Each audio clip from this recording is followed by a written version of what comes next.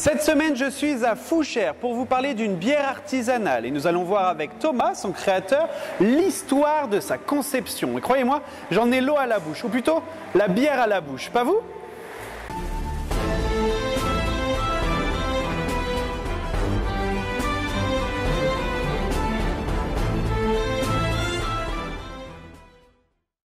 Bonjour Thomas, merci de nous accueillir ici dans ta brasserie. Avec plaisir. Hein, on voit que c'est une exploitation familiale. Ouais, ouais, on a vu une ton père. familiale. Comment ça se passe euh, la vie entre l'agriculture et la brasserie?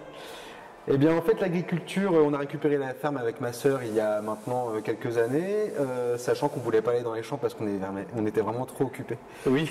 Du coup, quelqu'un fait le travail dans les champs à notre place, mais les champs sont encore à nous, donc la ferme nous appartient. Et puis moi, j'ai monté une brasserie euh, sur voilà, le lieu. justement, d'où c'est venu cette idée de monter une brasserie à Fouchères?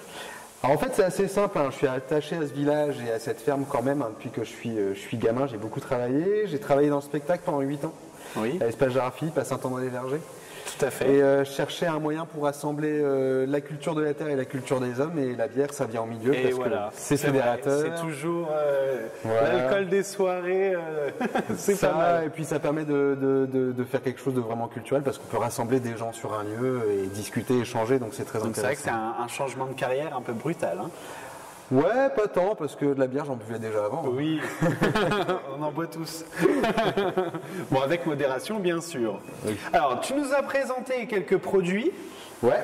Ah, donc est-ce que tu peux nous en parler euh, en quelques mots? Parce que c'est vrai qu'il y a beaucoup, beaucoup de choses.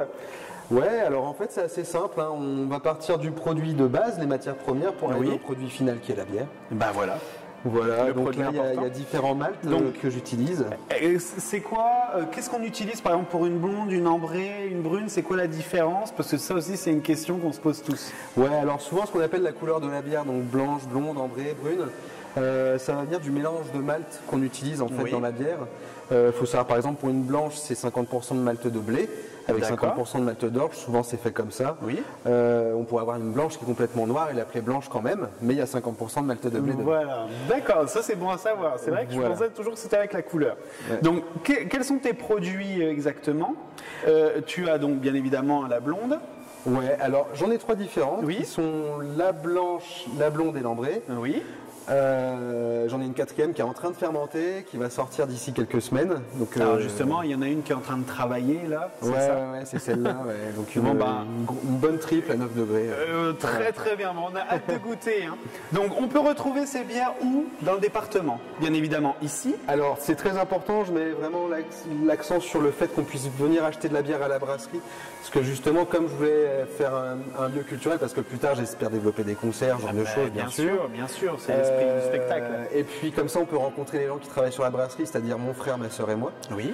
Euh, donc on peut venir en chercher ici, point de vente en direct, et puis après je suis distribué chez des cavistes, des restaurateurs et des bars. D'accord, et ben super, et ben voilà, quand vous verrez la rouf, vous pourrez dire Ah, on la connaît celle-ci, on va y Ouais, goûter. ouais.